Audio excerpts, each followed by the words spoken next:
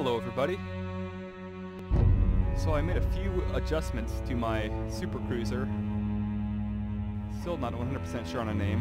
Anyways, I've uh, reinforced the bridge slightly and made it a little more copacetic.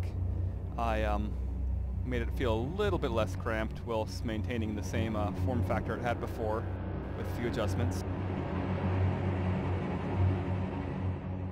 So yeah, that's not the exercise today. Today the exercise is going to be how much damage can this thing dole out.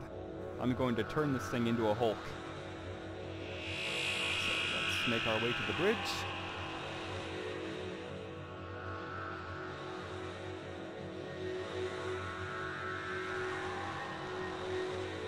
Go ahead and turn down the audio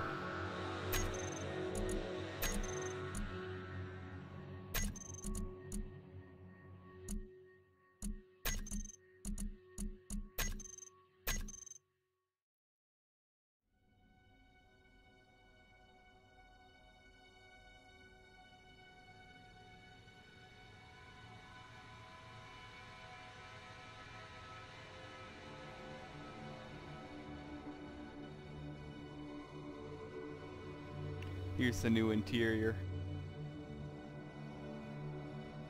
A little more spacious, room to move around, better lighting, reinforced, uh, reinforced bulkheads. Not that it's going to do much if something comes at this at full speed, but it's better than nothing. Gives the illusion of safety. And of course, we still have the below deck um, uh, backup control room in the uh, bowels of the ship, which I addressed in the other video.